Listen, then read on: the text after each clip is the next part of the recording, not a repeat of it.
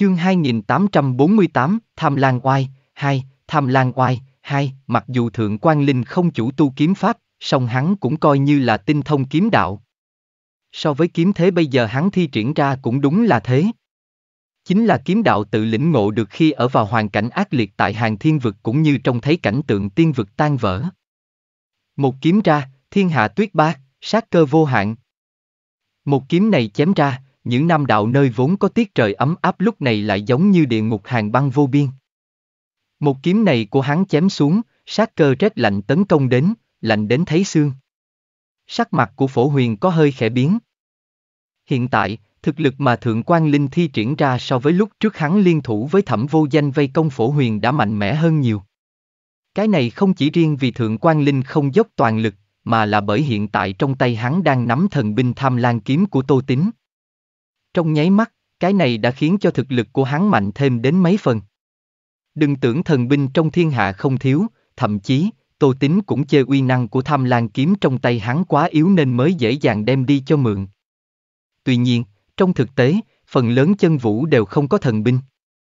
Đối diện với một kiếm này, Phổ huyền chấp hai tay, miệng niệm Phật hiệu. Nhất thời quanh thân hắn, Phật quan kim sắc đại thịnh. Pháp tướng sau lưng hắn cũng diễn hóa thành hàng ma kim cương tướng, từ trong hỏa diễm vô biên bộc phát ra. Liệt diễm kim cương, trấn áp giết tà. Vô biên sát cơ bị Phật quan che lấp. Liệt diễm thiêu đốt quanh thân hàng ma kim cương, hai bàn tay màu vàng giữ chặt tham lan kiếm. Dưới Phật quan trấn áp, sát cơ như bão tuyết xung quanh cũng tan rã. Ngay khi phổ huyền cho rằng hắn đã hoàn toàn trấn áp được kiếm này của Thượng quan Linh. Bất chợt, trên thân tham lan kiếm Thượng quan Linh cầm bỗng nhiên bộc phát ra một tia hồng mang chói mắt. Vô biên sát cơ ngừng tụ thành một bóng sói hung tợn, hoàn toàn không thấy Phật quan cường đại hộ thể của phổ huyền kia mà đánh thẳng vào trong cơ thể của hắn. Phổ huyền nhất thời nôn ra một ngụm máu tươi, trong mắt lộ ra vẻ kinh hãi. Khí linh có thể chủ động tấn công người. Phổ huyền hắn căn bản cũng chưa từng thấy.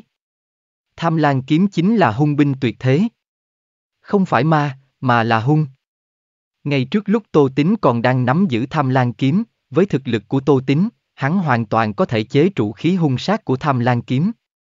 Cho dù tham lan kiếm là tham lan hung binh, song ở trong tay Tô Tính cũng chỉ có thể biết điều mà ngoan ngoãn thôi. Nhưng bây giờ, tham lan kiếm lọc vào tay Thượng quan Linh, hắn không cách nào áp chế tham lan kiếm hoàn toàn được. Bây giờ, khí linh tham lan kiếm trông thấy người sử dụng nọ lại phế vật như vậy, đối thủ dùng một chiêu đã chế trụ được, tham lan kiếm lại tự mình ra tay. Điều này ngay đến cả thượng quan linh cũng không nghĩ tới. Bên kia, phổ huyên do bị sát cơ tham lan kiếm đánh vào cơ thể mà bị thương nặng. Sau lưng hắn, một luồng khí thế kinh khủng cũng tấn công đến. Hai tay thẩm vô danh kết thành quyền ấn. Khi một ấn này hạ xuống, khí thế vô biên ầm ầm bùng nổ, hệt như muốn quét sạch thiên địa này. Bình thiên ấn. Từ đằng xa, Thiết vô tình và tô tử thần cũng đang quan sát. Thẩm vô danh con người này mặc dù nhìn thẳng thắn, song lại là người không khéo hơn ai hết trong thiên hạ thất bang. Nếu không chắc chắn, hắn tuyệt sẽ không toàn lực xuất thủ. Nhưng bây giờ, đến cả tuyệt kỹ mà hắn cất giấu là bình thiên ấn hắn cũng dùng đến. Hiển nhiên, lần này hắn đã dốc toàn lực, chuẩn bị muốn trở mặt hoàn toàn với Phật môn rồi. Một chiêu bình thiên ấn hạ xuống, quanh thân phổ huyền kim quan Phật môn ống ánh, kim cương pháp tướng bay lên từ trong liệt diễm. Chỉ có điều lần này không còn là thẩm vô danh bị đánh bay, mà là kim cương pháp tướng của phổ huyền ầm ầm vỡ vụn. Thẩm vô danh được thế không tha người. Hắn ngay lập tức lớn người lên, bắt đầu chém giết áp sát đến phổ huyền. Mỗi quyền cước đều lộ ra một sức mạnh kinh khủng. Phàm là nơi hai người chiến đấu, đất đai trong vòng trăm trượng thoáng chốc trở thành một đống hỗn độn, nứt toát. Mà sau lưng phổ huyền, kiếm thế của thượng quan linh mang theo sát cơ hung ác. Không ra tay thì thôi. Chỉ cần ra tay, tham lan kiếm sẽ lưu lại trên người phổ huyền một cái dấu ấn. Thần binh oai cũng không phải là thứ mà bây giờ phổ huyền có thể cản được. Hai người thẩm vô danh cùng thượng quan linh liên thủ. Một người đánh cận chiến quấy lấy phổ huyền. Người còn lại đứng từ xa dùng kiếm kỹ âm độc để đánh lén. Phối hợp vô cùng ăn ý, hơn 10 chiêu đã áp chế phổ huyền đến mức cao nhất. Mà bên kia, thiết vô tình cùng tô tử thần nhìn thấy đối phương đã không còn cơ hội trở mình. Bọn họ liền ngay lập tức vung tay lên, võ giả ám vệ và lục phiến môn liền ngay lập tức liều chết xung phong, ra tay với người của Kim Quan tự. Lục phiến môn cùng ám vệ xuất thủ, thượng quan thị cùng thất hùng hội cũng như lấy được tín hiệu, nhanh chóng hô hào kéo đến đánh người của Kim Quan tự. Tứ phương hợp lực nhất định là tuyệt sát phe còn lại.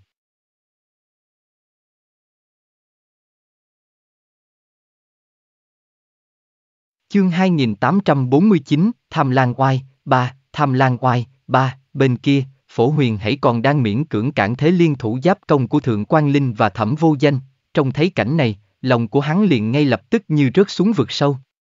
Lần này, kim quan tự của hắn coi như là khó thoát tai kiếp rồi. Nhìn bộ dạng của đối phương, hiển nhiên là tính hoàn toàn diệt kim quan tự bọn họ. Quan trọng nhất chính là trong tay còn có sự tham dự của lục phiến môn và ám vệ. Đằng sau chuyện này rốt cuộc có ẩn chứa âm mưu gì thì không cần phải nói nhiều nữa. Lần này đối phương e là không chỉ riêng nhắm vào kim quan tự của hắn mà còn là nhắm vào toàn bộ Phật môn. Trong mắt phổ huyền lộ ra một sát cơ kinh người. Đối diện với nguy cục thế này, bọn họ không chọn cách chạy trốn, mà trong hỏa diễm kim quan kia, quanh thân phổ huyền đều được độ thêm một tầng kim mang, trong hắn không khác gì kim cương là hán hiện thế. Dĩ nhiên, cái giá của việc này cũng không hề rẻ. Cái bây giờ phổ huyền thiêu đốt có thể là khí huyết mạnh mẽ mà trước tới giờ hắn mất công tích lũy. Với võ giả ở độ tuổi như hắn mà nói, một khi chọn cách thiêu đốt khí huyết thì căn bản chính là đang liều mạng. Phổ huyền hét lớn về phía mấy tên đệ tử thân truyền đằng sau hắn, chạy. Chạy ra ngoài đem tin về Linh Sơn. Tô Tính liên hiệp với Đại Chu và Đại Phái Giang Hồ địa phương muốn tuyệt diệt Phật môn ta. Dứt lời. Quanh thân phổ huyền nộ diễm ngút trời. Kim cương hàng ma, trấn áp thiên địa. Phật ấn cường đại ầm ầm một tiếng đánh bay thẩm vô danh. Liệt diễm Phật quan vô tận áp chế thượng quan linh. Ngay cả hung tính trên thân kiếm tham lan cũng bị áp chế. Thượng quan linh liền bị phổ huyền dùng một chưởng đánh bay, nôn ra một ngụm máu tươi. Thượng quan linh mặt đầy vẻ âm trầm. Lão hòa thượng này mà liều mạng thì thật không dễ chọc. Có điều, hôm nay hắn coi như không liều mạng cũng không thể sống. Thượng quan linh cũng tập hợp toàn lực, hàng băng chân khí vô tận quán chú vào trong trường kiếm. Một kiếm chém xuống. Vạn dặm đóng băng. Chỉ thấy đất đai trong nháy mắt đã bị bao phủ trong hàng băng dày đặc. Từng cột băng xuất hiện. Bên trong mỗi một cột băng đều ẩn chứa kiếm ý sát cơ vô tận. Trong chốc lát, chu vi trăm trượng đền biến thành địa ngục hàng băng. Phổ huyền tức giận gầm lên một tiếng. Trong liệt diễm, kim cương trấn ma một quyền một cước đều mang oai xé trời đập đất, phá nát địa ngục hàng băng kia. Nhưng quanh thân phổ huyền cũng bị kiếm ý cường đại chém thành từng vết thương kinh khủng, mơ hồ còn thấy được cả xương trắng. Sau lưng, thẩm vô danh khí hướng tận trời, tay bắt bình thiên ấn. Song lại có chín tầng biến hóa. Một ấn nhất trọng thiên, xé trời phá đất, ngày càng ngạo nghễ. Phổ huyền liên tiếp chặn tám đạo bình thiên ấn của thẩm vô danh. Nhưng xương cốt toàn thân phổ huyền cũng bị sức mạnh cường đại này đánh gãy. Đến khi một ấn cuối cùng của thẩm vô danh đánh xuống, phổ huyền rốt cuộc không đỡ được nữa. Hỏa diễm kim sắc quanh thân bị tắt. Một ấn của thẩm vô danh đánh phổ huyền hắn bể ngực. Trong nháy mắt, huyết vụ phiêu tán, thi thể của phổ huyền cũng ngã xuống đất. Thượng quan Linh và thẩm vô danh liên thủ chém chết phổ huyền. Mặc dù cuối cùng bọn họ cũng thành công nhưng cái giá phải trả cũng không nhỏ. Thẩm vô danh dùng toàn lực xuất thủ, lúc này đã đến cực hạn. Mà bên kia, Thượng quan Linh còn thảm hại hơn. Tay cầm thần binh thậm chí còn bị một ít thương thế. Có điều, cuối cùng cũng giải quyết được kẻ địch. Lúc này, Thiết vô tình cùng Tô Tử Thần cũng đi đến, chắp tay với hai người, nói, Thượng quan gia chủ và thẩm hội chủ ra tay đúng là cường hãn. Nhanh như thế đã giải quyết được phổ huyền. Thượng quan Linh cười khổ, nói, lấy hai địch một mà còn phải đánh chật vật như vậy. Làm gì có cái đáng để khoe. Đúng rồi, người của Kim Quan tự bị giết hết rồi à. Tô Tử Thần lắc đầu. Nói, có một ít chạy ra ngoài. Có điều không có gì đáng ngại. Dù sao chúng ta cũng đã đồng thủ. Cho dù bọn chúng có chạy ra khỏi để báo tin cho Phật môn cũng không có gì to tác. Thượng quan Linh gật đầu một cái, đưa tham lan kiếm trong tay cho Tô Tử Thần. Hiện tại, nhiệm vụ của bọn họ ở đây coi như đã hoàn thành. phần còn lại để xem Tô Tính xử lý thế nào. Mà lúc này, không riêng gì những nam đạo hành động, vào lúc Thượng quan Linh động thủ, những đạo khác cũng đều đã đánh xong. Ví như lúc này, trong Gian Nam đạo, Lý Phôi cùng tiêu gia liên thủ với niên bang chuẩn bị đối phó với phân tự Phật Tông ở Gian Nam đạo. Đám người tô tử thần ở những Nam đạo muốn kéo Thượng quan thì xuống nước còn phải dùng mưu, nhưng ở tiêu gia lại chẳng cần những thứ đó, chỉ cần tiêu Sức nói một câu là được. Bây giờ, trưởng đà ở tiêu gia là tiêu vô cực và tiêu vô thắng. Hai người bọn họ đều là người quyết đoán. Không giống như thượng quan linh cứ phải đợi đến lúc bị dồn vào đường cùng mới xuất thủ. Phật môn cũng phái một tên cường giả chân vũ cảnh đến Giang Nam. Hơn nữa, còn là chân vũ cảnh mạnh nhất trong Phật Tông, tiếu diện kim cương, cưu ma la thập.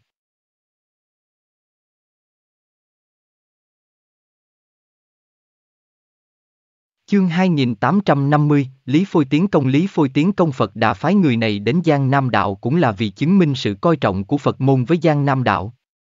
Tiêu vô cực nói với Lý Phôi, Lý Đại Nhân, ba người chúng ta liên thủ hoàn toàn có thể tiêu diệt phân tự Phật môn ở Giang Nam Đạo.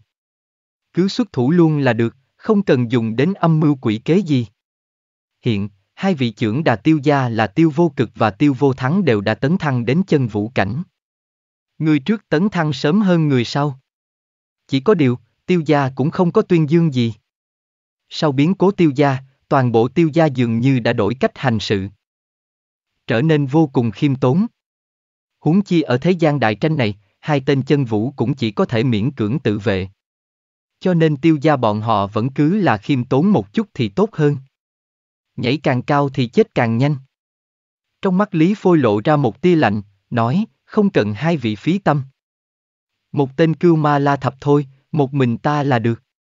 Tiêu vô cực cùng tiêu vô thắng nhìn nhau một cái, không nói gì nhiều, tuy nhiên bọn họ vẫn cảm thấy Lý Phôi này có hơi quá kiêu ngạo. Trước đó, Lý Phôi từng dùng ba kiếm chém chết phổ đà tôn giả của Phật môn, trận chiến ấy quả thực chấn động giang hồ. Tuy nhiên, đều là chân vũ, hai người bọn họ biết trong này có sự chênh lệch lớn đến độ nào. Phổ đà tôn giả kia có thể mới tấn thăng chân vũ. Thậm chí, thời gian hắn tấn thăng chân vũ cũng không lâu như Lý Phôi. Ngay cả sức mạnh tự thân còn chưa kịp làm quen, bị Lý Phôi chém chết cũng là bình thường. Huống chi bây giờ Lý Phôi cũng nổi danh giang hồ. Mọi người cũng rất hiểu võ đạo của hắn. Võ đạo của người này có thể nói là võ đạo cực đoan nhất đời này. Phát huy tử vong lực đến trình độ cao nhất. Trong lúc xuất thủ, mấy chiêu đầu đều là mạnh nhất. Nếu ngươi có thể ngăn được thế công giai đoạn đầu của Lý Phôi. Kéo dài cuộc chiến về sau thì Lý Phôi cũng không đáng sợ đến thế. Phổ Đà Tôn giả quá mức phế vật. Ngay cả công kích mở đầu của Lý Phôi cũng không ngăn được, chết cũng là chuyện bình thường. Nhưng cưu ma la thập này lại khác. Thâm niên của hắn thậm chí so với bị già Đa La lúc trước còn lâu hơn. Vào lúc đó, hắn chính là cường giả đứng sau bị già Đa La tại Phạm Thiên Vực. Hơn nữa, sau khi Phật Đà đoạt xác lại truyền thụ cho Cưu Ma La Thập không ít bí điển Phật Tông và cảm ngộ võ đạo. Đây càng khiến cho thực lực của Cưu Ma La Thập tăng nhiều. Thậm chí có thể nói là đã đến bán bộ thần kiều cảnh. Nếu như với người có thực lực như Cưu Ma La Thập mà Lý Phôi vẫn có thể giết trong nháy mắt, thì Phật môn kia cũng có phần quá mức phế vật. Có điều, mặc dù tiêu vô cực và tiêu vô thắng cảm giác Lý Phôi có chút cuồng vọng nhưng bọn họ cũng không nói ra miệng. Trên giang hồ hiện tại nào có ai không biết, vị Lý Đại Nhân này chính là tâm phúc của Tô Tín. Nhân vật quyền lực số 2 ở đất Tây Bắc. Bất kể là thực lực hay là quyền thế, tiêu gia bọn họ cũng không đắc tội nổi. Cho nên, nếu người này đã muốn đánh một mình thì cứ để hắn đánh một mình. Dù sao có hai người bọn họ áp trận bên cạnh. Cưu ma la thập kia cũng không chạy được. Chẳng may Lý Phôi có xảy ra vấn đề gì, bọn họ cũng có thể kịp thời xuất thủ cứu viện. Lý Phôi nhìn tiêu vô thắng và tiêu vô cực, hắn không giỏi an nói nhưng không phải không biết đối nhân xử thế. Trong lòng hai người này nghĩ cái gì hắn biết rõ. Lý Phôi muốn đơn độc đánh một trận với Cưu Ma La Thập, đây cũng không phải là bởi hắn cuồng vọng, cũng không phải bỗng nhiên chiến ý của hắn bùng nổ, mà phải nói Lý Phôi đang muốn báo thù. Năm xưa, lúc Lý Phôi ở Dương Thần Cảnh đã từng ra tay đuổi giết tàn dương nguyên không của Thiếu Lâm Tự, cũng chính là người ẩn giấu nguyên thần của Phật Đà trong cơ thể kia. Khi đó, Nếu Nguyên không bị Lý Phôi chém chết thì chưa chắc đã có Phật đà của ngày hôm nay. Nhưng ai nào ngờ, khi đó Phạm Thiên Vực bỗng nhiên phái người ra tay cản trở. Người xuất thủ chính là vị tiếu diện Kim Cương, Cưu Ma La Thập này. Mặc dù, Lý Phôi nhờ vào trận chiến với Cưu Ma La Thập mà bước chân vào chân vũ, nhưng hắn cũng biết, thời điểm đó hắn tuyệt không phải đối thủ của Cưu Ma La Thập, nên chỉ có thể rút đi. Mà bây giờ, hắn đã hoàn toàn nắm sức mạnh chân vũ trong tay. Trận đánh năm đó còn chưa đánh xong kia, bây giờ hẳn nên kết thúc rồi. Ở trong phạm thiên vực, Cưu Ma La Thập chính là phương trượng bàn nhược tự. Bây giờ hắn thành lập phân tự ở Giang Nam Đạo, cũng giống như Kim Quan tự ở những Nam Đạo, đã xây tự đặt tên là Kim Cương Bàn Nhược Tự. Lúc Cưu Ma La Thập chiếm lĩnh Giang Nam Đạo cũng chẳng tốn chút sức lực nào, hắn không giống phổ huyền phải làm đủ mọi loại kế sách. Trong những thế lực ở Giang Nam Đạo, thế lực triều đình Đại Chu không đủ. Thu đàn của Niên bang ở Giang Nam Đạo căn bản không đáng nhắc đến. Mà tiêu gia mạnh nhất Giang Nam Đạo cũng đã khiêm tốn nhiều vào lúc Hoàng Thiên vực chiếm lĩnh Giang Nam Đạo. Bây giờ, đến khi Phật Tông thống lĩnh Giang Nam Đạo thì càng thu mình hơn. Với việc Phật Tông chiếm Giang Nam Đạo, tiêu gia cũng không dám ho hay gì.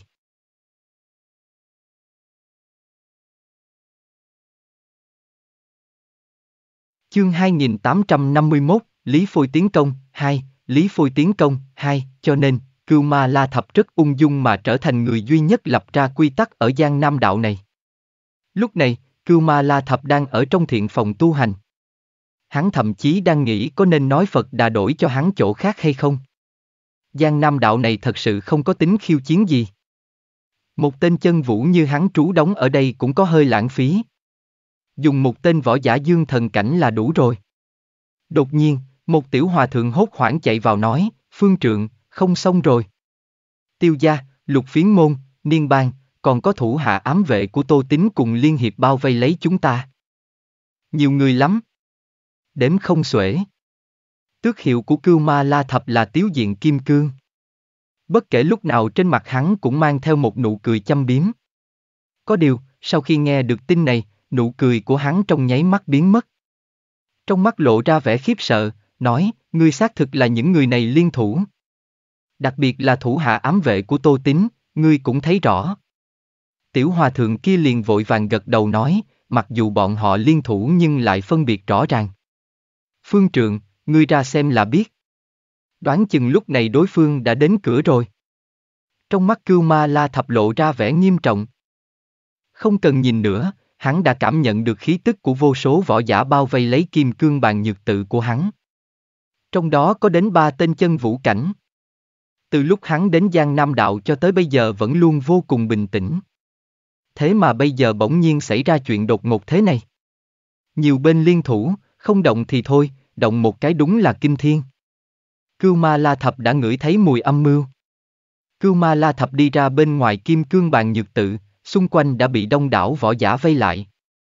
Điều này khiến cho trong mắt Cưu Ma La Thập thoáng qua một vẻ âm trầm. Đối phương là muốn hoàn toàn tiêu diệt nhất mạch của hắn. Cưu Ma La Thập nhìn ra đám người bên ngoài này. Trong mắt âm trầm nhưng trên mặt vẫn mang thần sắc tươi cười nói, cư vị có ý gì đây?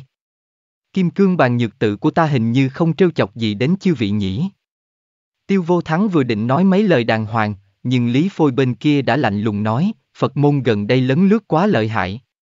Đại nhân nhà ta tính cho Phật môn một bài học cả đời khó quên. Đơn giản vậy thôi. Hai huynh đệ tiêu gia kia đều có chút bất ngờ không biết nói gì. Người thẳng thắn như vậy giờ rất hiếm thấy. Có điều, cũng quả thực như Lý Phôi nói. Bây giờ bọn họ cũng đã lộ chân tướng rồi. Hơn nữa, bên phía bọn họ cũng hoàn toàn chiếm thế thượng phong. Có nói nhảm gì với Cưu La Ma Thập hay không dường như cũng không quan trọng đến thế. Mà Cưu Ma La Thập nghe được câu này xong, nụ cười trên mặt hắn cũng biến mất, thấp giọng nói, Tô Tín muốn hoàn toàn trở mặt với Phật môn ta à. Hắn điên rồi hay sao?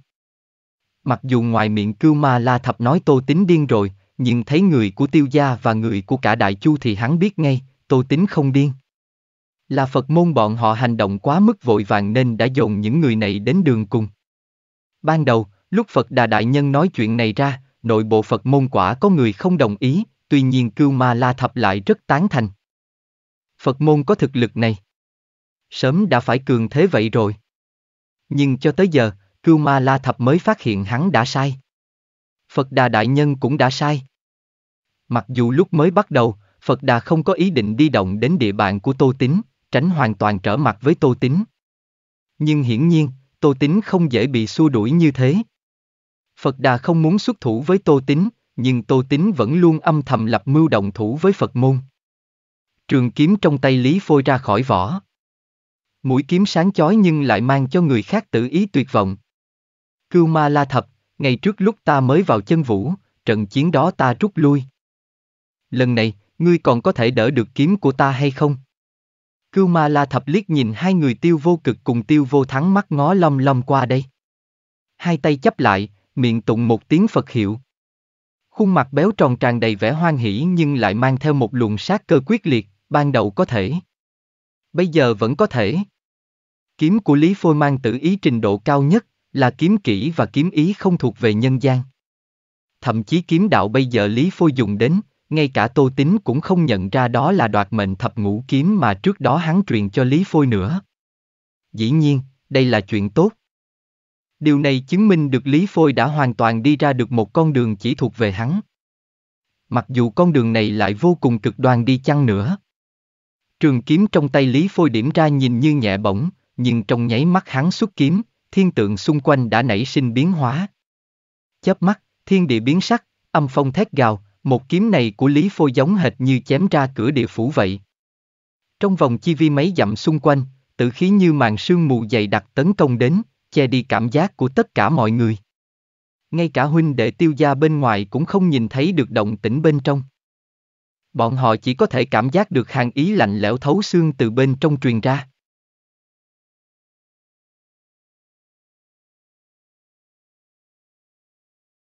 Chương 2852, tự ý trình độ cao nhất tự ý trình độ cao nhất mà ở trong đó, trong mắt cưu ma la thập lộ ra vẻ nghiêm trọng. Ban đầu, lúc Lý Phôi ở dương thần cảnh đã từng xuất kiếm với cưu ma la thập. Khi đó, thực lực của Lý Phôi cũng đã khiến cho hắn cực kỳ kinh hãi. Không ngờ rằng bây giờ Lý Phôi đã kinh khủng đến mức độ này. Người này rốt cuộc đã làm như thế nào? Có điều, Lý Phôi tiến bộ thần tốc, cưu ma la thập hắn cũng không hề dậm chân tại chỗ. Ngay trước lúc ở Phạm Thiên Vực, hắn rất kính trọng Bì Già Đa La. Nhưng nói hắn kính trọng Bì Già Đa La thì không bằng nói hắn kính trọng thực lực của Bì Già Đa La. Cho nên, sau khi Bì Già Đa La bị Phật Đà đoạt xác, hắn thực ra là người nhìn ra được chỗ không đúng đầu tiên, nhưng hắn lại chẳng nói gì, ngược lại âm thầm chấp nhận chuyện này, Phật Đà nói gì thì hắn nghe nấy. Vì thế nên sau khi Phật Đà trở lại làm thông thiên cảnh, đồ cho hắn cũng là nhiều nhất. Điều này có thể nói đã khiến cho cưu ma la thập có tiến bộ thần tốc, đã đến bán bộ thần kiều rồi. Trong màn sương dày đặc tràn ngập tử khí, sát cơ vô hạn, cưu ma la thập căn bản không phát hiện ra được một kiếm kinh khủng này của Lý Phôi sẽ đâm đến từ hướng nào. Dĩ nhiên, hắn cũng không cần phát hiện. Võ giả nhất mạch của hắn tu luyện kim cương tướng. Mặc dù là tiếu diện kim cương nhưng đó cũng là kim cương. Cưu ma la thập chấp hai tay, miệng niệm một tiếng Phật hiệu, Phật quan nở rộ quanh thân. Từng chữ vạn Phật ấn nổ tung. Phật quan cường đại sông đến thiên không, chiếu sáng một phe thiên địa bị tử khí che giấu này. Nhưng vào lúc này, một đạo kiếm quang đen như mực đã đâm tới hướng lưng hắn. Sức mạnh cường đại cắt trời hư không, im hơi lặng tiếng, vô cùng quỷ dị. Trong nháy mắt, Cưu Ma La Thập liền có cảm giác như hắn bị thứ độc vật kinh khủng nào đó theo dõi vậy, có cảm giác sợn tóc gáy. Miệng hắn tụng Phật hiệu, sau lưng hắn một thân kim cương minh vương pháp tướng hiện lên. Kim cương minh vương pháp tướng kia có hai mặt bốn cánh tay. Một âm một dương, một thiện một ác, vừa khóc vừa cười. Mặt cười quay đầu nhìn một kiếm kia của Lý Phôi. Bốn cánh tay chia ra cầm hàng ma sử, giới đao, trường kiếm, thất bảo lưu ly tháp. Bốn loại binh khí hoàn toàn được ngưng tụ từ Phật quan ầm ầm giáng xuống, lúc này mới đánh tan được hoàn toàn một kiếm kia của Lý Phôi. Nhưng ngay trong nháy mắt này, sắc mặt của Cưu Ma La Thập lại hơi có chút biến hóa. Bởi sau khi một kiếm này vỡ vụn, hắn cũng không phát hiện được bóng dáng của Lý Phôi. Mà cùng lúc đó, một luồng sát cơ còn ghê gớm hơn lúc nãy ầm ầm giáng xuống phía chính diện của Cưu Ma La Thập. Thân hình Lý Phôi được bao bọc trong bóng tối vô biên, hệt như minh thần nơi địa ngục vậy. Tử ý vô tận ngưng tụ trên thanh trường kiếm kia. Đó là bóng đen cực hạn, tử vong cực hạn. Bất kỳ thứ ánh sáng nào đứng trước bóng tối này cũng đều bị hấp thu mất. Mắt trông thấy Phật quan vô tận này tan rã, một kiếm này của Lý Phôi đã hoàn toàn áp đến trước người Cưu Ma La Thập. Nhưng vào lúc này, Cưu Ma La Thập gầm lên một tiếng. Cơ thể mập mạp kia của hắn giống như được bơm phồng lên. Tăng hẳn một vòng lớn. Song quanh thân hắn không có Phật quan toát ra mà là một luồng khí tức hung ác chí cực. Kim Cương Minh Vương Pháp tướng sau lưng hắn xoay người. Mặt Kim Cương hung ác kia trợn mắt. Bốn cánh tay đồng loạt xuất thủ, bạo phát ra sức mạnh cường đại, cầm ngay lấy một kiếm đó của Lý Phôi. Trong nháy mắt, tử khí nổ tung. Nhưng cánh tay Kim Cương Minh Vương Pháp tướng của Cưu Ma La Thập cũng bị nổ bể, sau đó tan vỡ. Sức mạnh cường đại kia hoàn toàn đánh nát vụn Kim Cương Minh Vương Pháp tướng của Cưu Ma La Thập. Lúc này, Cưu Ma La Thập đã không còn là tiếu diện Kim Cương nữa, sắc mặt hắn toàn là vẻ dữ tợn. Hắn liền đưa hai tay ra, trước khi một kiếm kia của Lý Phôi đến trước người đã dùng hai bàn tay cứng nhắc của mình để kẹp lấy một kiếm này của Lý Phôi. Cho dù Phật quan trên tay hắn mất đi, còn bị một kiếm này của Lý Phôi chém cho máu tươi đầm đìa, sâu thấy tận xương nhưng hắn vẫn thành công chặn được kiếm này của Lý Phôi. Trong hai mắt của Cưu Ma La Thập, Phật quan kim sắc đại thịnh. Cùng với sáu chữ chân ngôn hắn niệm, từng chữ vạn phận ấn lao ra, đánh đến hướng Lý Phôi. Lý Phôi đứng đối diện mặt không chút biểu cảm nào, ngay lập tức thu kiếm lại, hời hợt đánh tan những Phật ấn ngưng tụ lại nhờ sáu chữ chân ngôn kia. Lúc này, tử khí kinh khủng mà Lý Phôi bày ra cũng đã tản đi. Tiêu vô cực cùng tiêu vô thắng ở bên ngoài dĩ nhiên cũng trông thấy được cảnh tượng bên trong. Hai người đưa mắt nhìn nhau một cái, khó mà nén được sự kinh hãi trong ánh mắt. Trước đó, bọn họ cũng đã biết Lý Phôi rất mạnh rồi. Nhưng không ai ngờ Lý Phôi lại có thể mạnh đến nhường này. Mới chỉ một chiêu mà cưu ma la thập đã rơi vào thế hạ phong. Nhìn dáng vẻ thì còn bị một chút thương thế nhẹ. Hơn nữa, phàm là nơi nọa bị bao phủ bởi màn sương dày đặc của Lý Phôi, cây cỏ trên mặt đất đều nhanh chóng bị khô héo, biến thành một màu xám trắng. Gió nhẹ thổi một cái liền biến thành cho bụi phiêu tán.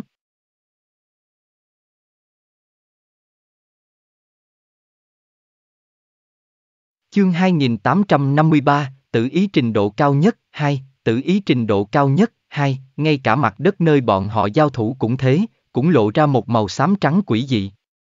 Hiển nhiên, từ nay về sau nơi này đã hoàn toàn biến thành một mảnh tử địa, cũng không còn chút sinh cơ nào nữa, sẽ không có bất cứ thực vật nào sinh trưởng được ở đây.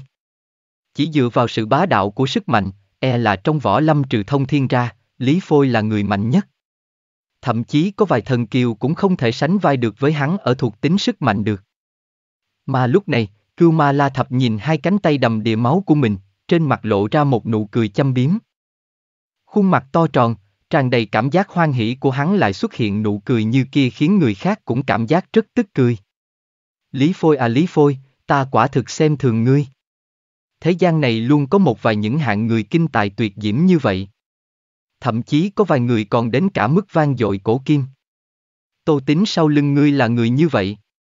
Ngươi xem ra cũng thế. Chỉ có điều, ngươi có thể tu luyện đến cảnh giới của ta và ngươi, thì cũng chẳng có ai là phế vật cả. Thủ đoạn cất giấu của ta còn chưa lấy ra đâu. Hai vị sau lưng ngươi không tính lên à? Chỉ dựa vào một mình ngươi. Muốn giết ta cũng không dễ dàng đâu. Lý Phôi ngay lập tức lạnh nhạt nói, ngươi cũng không cần đứng đây mà khích ta. Ta nói rồi. Hôm nay chỉ có một mình ta giết ngươi thôi. Ban đầu ngươi ngăn ta lại, ta không địch lại ngươi. Bây giờ, ngươi cũng đừng mơ chạy khỏi từ trong tay ta. Được. Cưu ma la thập quát lên một tiếng. Hai tay hắn kết thành một ấn quyết cổ quái. Không phải ấn pháp của Phật Tông nhưng lại cũng giống như ấn pháp của Phật Tông, khiến người khác khó mà đoán đúng. Lý Phôi chỉ quan tâm đến võ đạo của mình. Cưu ma la thập dùng cái gì, Lý Phôi hắn cũng tin tưởng kiếm của hắn có thể đánh tán được. Tuy nhiên, tiêu vô cực cùng tiêu vô thắng sau lưng Lý Phôi đưa mắt nhìn nhau, đồng loạt kinh hãi nói, ma công. Tiêu gia bọn họ truyền thừa lâu đời, điển tịch trong gia tộc nhiều không kể xiết. Hai người này cũng coi như là người kiến thức uyên bác. Sau khi nhìn thấy ấn pháp của Cưu Ma La Thập, bọn họ ngay lập tức nhìn ra, Phật ấn này rõ ràng hàm chứa khí tức công pháp ma đạo. Một hòa thượng mà lại dùng ma công. Chuyện này nghĩ thế nào cũng không thấy tự nhiên cho lắm. Hai người bọn họ muốn nhắc nhở Lý Phôi một chút. Có điều, lúc này đã không còn kịp rồi. Động tác của Cưu Ma La Thập rất nhanh. Đến sau khi hắn bắt ấn pháp xong, quanh thân hắn đã bị một lớp thanh u hỏa diễm bao phủ lấy. Ngọn lửa kia hừng hực thiêu đốt, giống hệt như đang thiêu đốt mỡ trong cơ thể Cưu Ma La Thập, khiến cho cơ thể mập mạp của hắn bắt đầu co lại nhanh chóng, trở nên vô cùng gầy gò. Cuối cùng, biến thành dáng dấp như da bọc xương vậy. Mà lúc này, ngọn lửa thanh u kia cũng hoàn toàn biến thành ma diễm ngập trời, loại biến đổi này khiến mọi người ở đây không ai kịp phản ứng. Lúc này, trong hai mắt cưu ma la thập cũng mang theo quỷ hỏa đáng sợ. Hai tay hắn chấp lại, dưới chân dâng lên một đóa sen đen, nhìn vô cùng tà dị. Tuy nhiên cũng có một loại cảm giác thánh khiết bên trong. Phật viết, ta không vào địa ngục thì ai vào? Không thành ác quỷ địa ngục thì sao có thể độ hóa ác quỷ trên thế gian? Cái gì là Phật? Cái gì là ma? Chỉ cần một ý nghĩ sai lầm mà thôi. Phật đà mê muội thì thành ma la. Ma la hướng Phật, bỏ đau độ tể, lập địa thành Phật. Ma la chuyển sinh quyết này chính là được Phật đà đại nhân sau khi dung hợp với công pháp của đại thiên ma tôn truyền thừa xuống. Ta dùng nó lần đầu tiên, cũng chính là một lần cuối cùng. Nhưng Lý Phôi ngươi cũng là người đầu tiên lĩnh giáo. Còn muốn lĩnh giáo thêm cũng không có cơ hội đâu. Lý Phôi tán đồng gật đầu một cái nói, đúng vậy. Không có cơ hội nữa. Nói vậy nhưng ý của hai người nói ra không giống nhau chút nào. Cưu ma la thập do Phật mê muội, trạng thái này khác với huyền khổ ngày trước. Huyền khổ là tâm ma, còn hắn lại là chủ động mê muội. Tư thái ma diễm ngập trời kia nếu so với lữ trường khanh của thiên ma cung còn mạnh hơn. Chân đạp hoa sen đen mà đến, cưu ma la thập đánh một chưởng xuống. Sau lưng hắn không xuất hiện kim cương pháp tướng mà là một vị Phật đà pháp tướng. Diện mạo dữ tợn vô cùng, so với cưu ma la thập lại có đến 8 phần giống nhau. Biểu cảm trên mặt Lý Phôi không chút biến hóa. Bất kể là Phật hay là ma. Ở dưới kiếm của hắn chỉ có chết mà thôi. Kiếm ra khỏi vỏ, cửa tử mở ra. Vô tận tử khí bao phủ lấy cưu ma la thập, mang theo sát cơ tịch diệt. Một chiêu kiếm liền có thể dập tắt ma diễm đó. Quy năng quả thực vô cùng cường hãn. Có điều lúc này, cưu ma la thập dường như đã quyết định liều chết. Hắn căn bản không tránh, không né, dùng pháp tướng tự thân gắn gượng đỡ một kiếm này của Lý Phôi. Hai tay kết ấn quyết, chính là hàng ma ấn của Phật môn. Nhưng lúc này, một ấn hạ xuống, ma khí vô tận ầm ầm bùng nổ, theo trường kiếm trong tay Lý Phôi mà tấn công đến hướng của hắn. Kinh nghiệm chiến đấu của Cưu Ma La Thập vô cùng phong phú. Huống chi trước đó hắn đã còn từng giao thủ với Lý Phôi.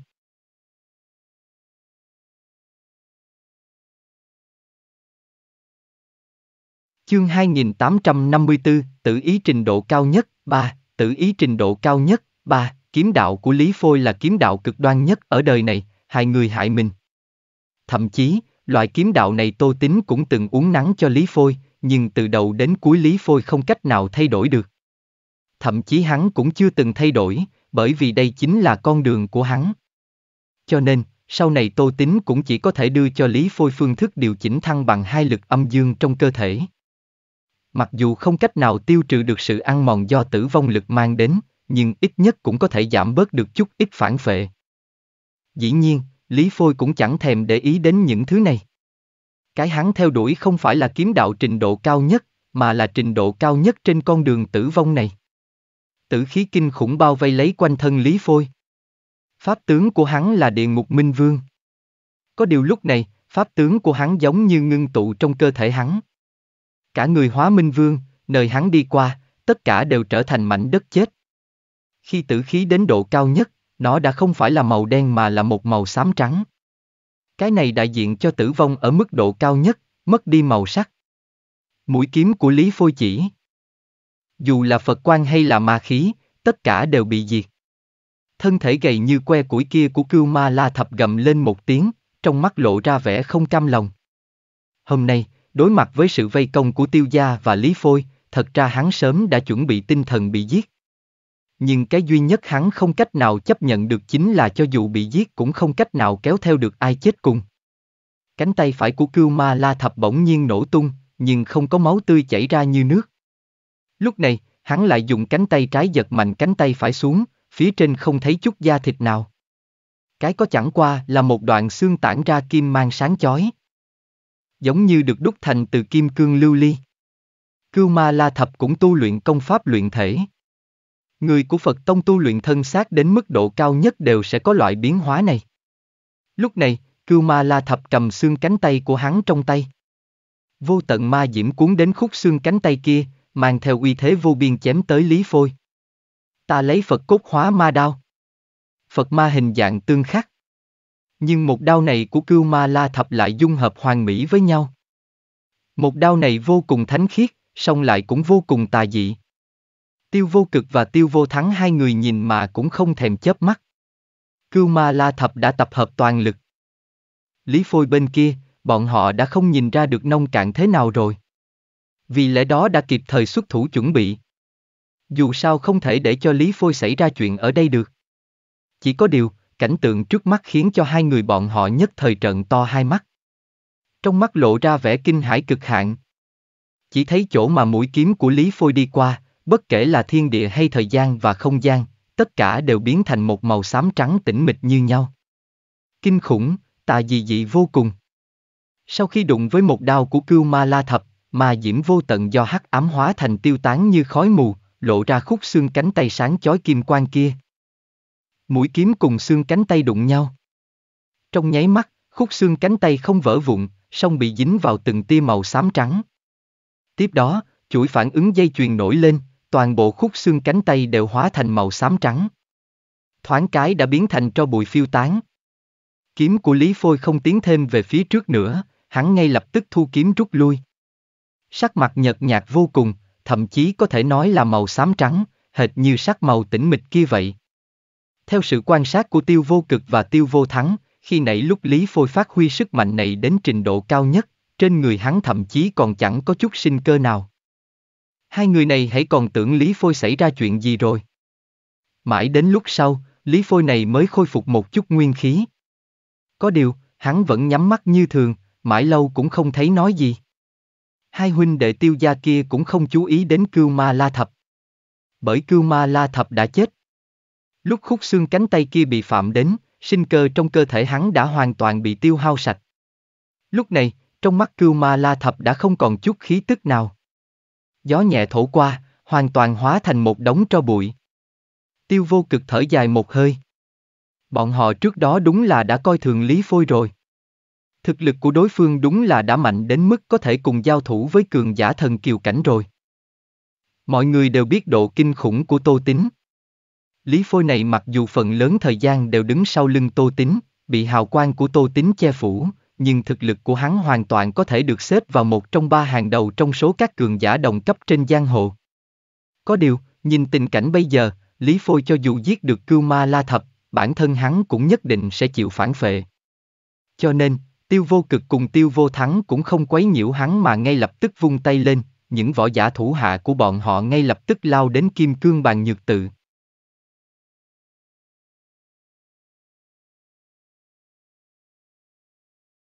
Chương 2855, tự ý trình độ cao nhất, 4, tự ý trình độ cao nhất, 4, dưới uy thế này, những hòa thượng trong kim cương bàn nhược tự kia đều lộ ra vẻ tuyệt vọng trong mắt.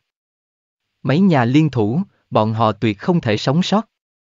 Huống chi bây giờ, ngay cả cưu ma la thập cũng đã chết. Bọn họ còn lấy cái gì mà cản? Tiêu vô cực và tiêu vô thắng cũng không xuất thủ. Chuyện như này không cần đến bọn họ xuất thủ. Nhìn cảnh tượng phía dưới, tiêu vô cực thở dài với tiêu vô thắng một cái, nói, đại ca, giang hồ này đến lúc phải đổi rồi. Tiêu vô thắng lắc đầu, nói, giang hồ cho dù có biến đổi thế nào thì tiêu gia chúng ta cũng vẫn là tiêu gia. Nếu chúng ta chọn đứng về phía tô tính thì cũng không thể mãi ông hai lòng. Nhiều năm qua như vậy, tiêu gia chúng ta từng hưng thịnh, cũng từng suy yếu. Nhưng bất kể thế nào, tiêu gia chúng ta cũng đã kéo dài cho tới bây giờ. Không cần lo lắng. Đời chúng ta có xuất hiện hạng người vang danh thiên cổ như Tô Tính đây, tuy chúng ta không cách nào phát triển tiêu gia đến đỉnh cao nhưng ít nhất cũng sẽ không phá sản. Tiêu vô cực gật đầu một cái, tìm tên thống lĩnh ám vệ đến, để cho hắn đi báo tin với Tô Tín rằng bên phía Giang Nam Đạo đã được giải quyết. Chuyện còn lại thì phải xem vào bên phía Tô Tín rồi. Những Nam Đạo, Giang Nam Đạo đều giải quyết rất lanh lẹ, còn những đạo khác cũng là thế. Thực lực Phật môn mạnh, nhưng cho dù có mạnh hơn nữa cũng không làm được kẻ địch của toàn bộ giang hồ. Mà dưới sự liên hiệp của Tô Tín, không nói tất cả giang hồ đều đối địch với Phật Tông, ít nhất cũng phải có 6, 7 phần. Dưới uy thế này, phân tự Phật Tông mới thiết lập trên toàn bộ giang hồ đã hoàn toàn bị phá vỡ trong chỉ một ngày. Bên trong Tây Bắc Đạo, Tô Tín an ổn ngồi ở tiền đường, chờ tin tức ở các nơi truyền đến. Giai đoạn trước, Tô Tín hành sự cấp tiến, cũng không ít lần dựa vào một trận đánh mà phân định thắng bại. Khi đó Tô Tín thua được, cũng dám đi đánh lại. Thật ra thì bây giờ, Tô Tín cũng dám đi đánh lại như vậy. Có điều, vị trí bất đồng, chuyện cần suy tính cũng nhiều. Gia đại nghiệp đại. Lỗ mãn dốc toàn lực đi đánh một trận, mặc dù tỷ lệ thắng cao, nhưng có thể dùng sức lực nhỏ nhất để giải quyết vấn đề, sao phải binh đi nước hiểm. Tô Tín xuất thân từ dân gian vi mạc, nhưng nhãn giới của hắn không giống với những hạng người hoang dã kia. Lần này, Tây Bắc đạo liên kết với nhiều thế lực trên giang hồ như vậy, đủ để khiến những thế lực từ Phật môn với ra giang hồ kia, không về lại được Linh Sơn nữa. Thậm chí có thể nói là 10 phần chắc đến 9. Mà chuyện cũng đúng như Tô Tín dự đoán. Tin tức trên giang hồ lần lượt truyền tới. 49 đạo Đại Chu, tất cả địa bàn bị Phật môn chiếm cứ, tất cả đều bị dọn dẹp sạch sẽ. Đợi đến lúc tin tức cuối cùng truyền đến, Tô Tín liền ngay lập tức đứng dậy, nói với Hoàng Bỉnh Thành, lập tức triệu tập ám vệ, Tây Bắc quân và lực lượng Đại Chu tụ họp trước đó ở Tây Bắc Đạo, tấn công Phật môn Linh Sơn. Hoàng Bỉnh Thành kinh ngạc nói, đại nhân, chúng ta không đợi Lý Phôi trở lại rồi mới ra tay đồng loạt à. Hiện, đám người Lý Phôi còn đang rải rác ở những nơi khác trên giang hồ. Mới vừa xử lý xong những người Phật tông đó. Hoàng Bỉnh Thành còn đang tưởng rằng Tô Tín sẽ triệu tập bọn họ sau đó cùng nhau tấn công Phật môn. Tô Tín lắc đầu nói, không cần đâu. Nếu chúng ta trực tiếp tấn công Phật môn thì chỉ cần chúng ta động một cái, các thế lực Phật môn rải rác trên thiên hạ khẳng định cũng sẽ phải thu tay để quay về Linh Sơn. Nhưng bây giờ, bọn họ đều đã bị tiêu diệt, muốn quay về Linh Sơn tiếp viện cũng khó. Toàn bộ Linh Sơn còn thừa lại bao nhiêu lực lương kia chứ? Chưa tới một phần. Linh Sơn chỉ cần có Phật Đà trấn giữ. Đó chính là thánh địa Phật môn. Những người khác thật ra cũng không quan trọng. Ban đầu, Phật Đà quyết định để cho Phật môn nắm trong tay toàn bộ trật tự giang hồ. Hắn nhất định sẽ phái toàn bộ lực lượng ra bên ngoài. Nếu không trấn áp, đè nén được các thế lực địa phương thì làm sao mà khống chế được. Cho nên, rất nhanh, toàn bộ Phật môn Linh Sơn đã bị thanh trừng sạch sẽ đến 9 phần. Hiện tại, toàn bộ Phật môn Linh Sơn còn chẳng tìm được một tên chân vũ hay dương thần. Trừ Phật Đà, phần lớn đều là một vài đệ tử thế hệ trẻ cùng một vài vũ tăng giáo đầu.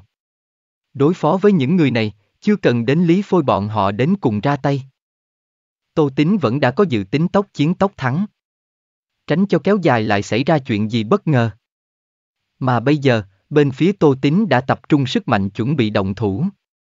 Lúc này, ở Phật môn Linh Sơn, Phật Đà nhíu chặt mày, một dự cảm bất thường quanh quẩn ở trong lòng. Kẻ càng mạnh thì càng nhạy cảm với những chuyện liên quan đến mình. Phật Đà lúc này cũng thế. Cảm giác bất an kia càng lúc càng mãnh liệt. Hắn thậm chí thấy được mây đen thổi qua trên bầu trời Linh Sơn. Phải biết bây giờ, Phật môn Linh Sơn là trận pháp Phật Đà tự tay bố trí ra. Toàn bộ trên dưới Linh Sơn, một ngày 12 giờ có Phật quan bao phủ. Trông vô cùng huy hoàng. Như vậy mới coi là thánh địa Phật môn. Cũng chính là bởi có vẻ ngoài như vậy, Phật môn Linh Sơn mới có thể hấp dẫn nhiều võ giả gia nhập.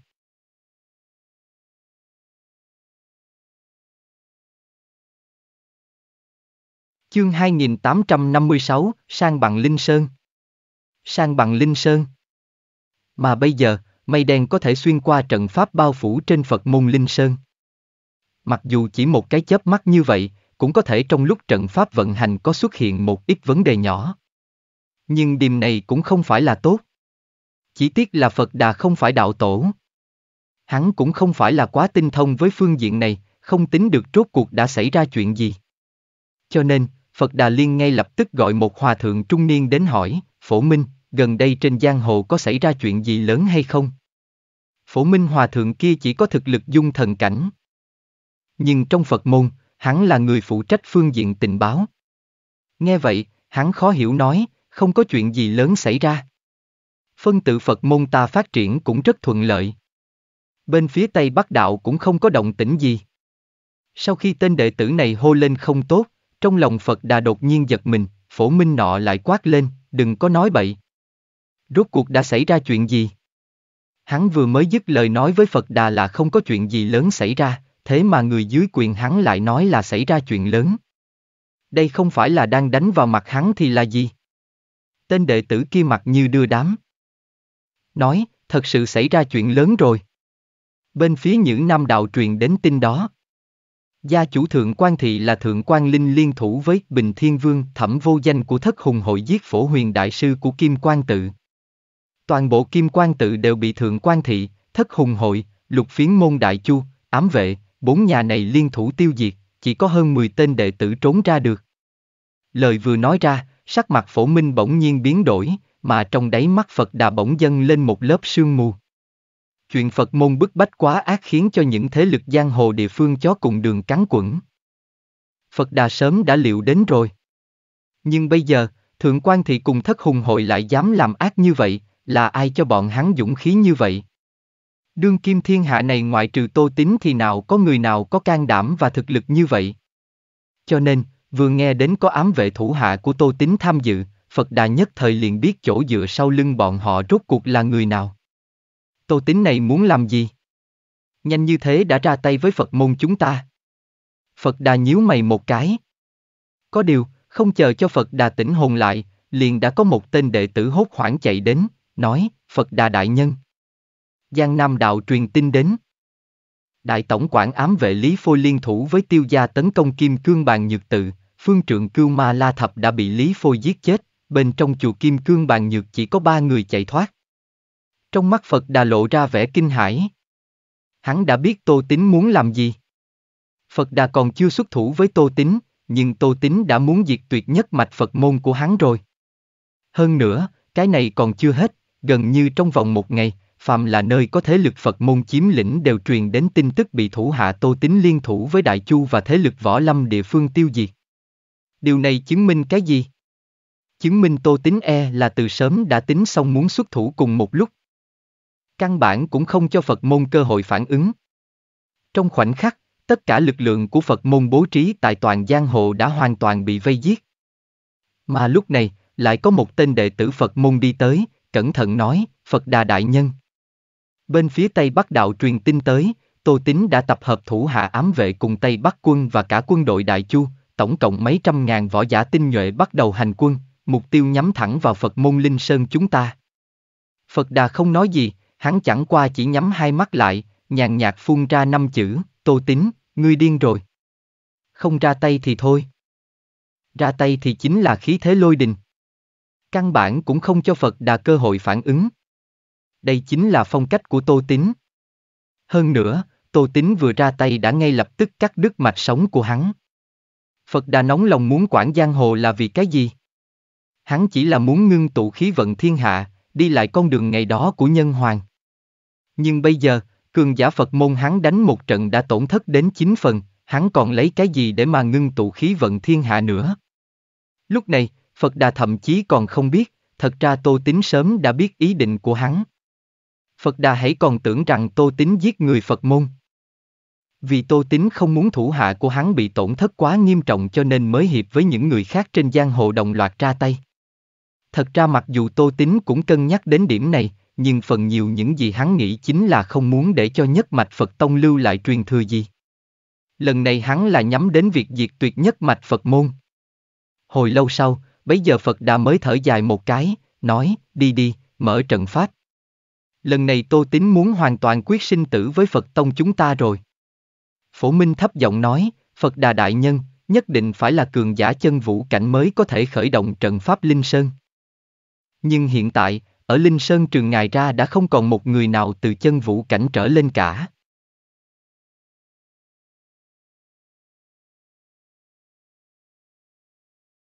Chương 2857, sang bằng Linh Sơn 2 sang bằng Linh Sơn. Hai, Phật Đà nghe vậy cười khổ một tiếng. Bước đi này hắn đã quá vội vàng. Dĩ nhiên cho dù hắn có chậm lại một bước cũng vô ích.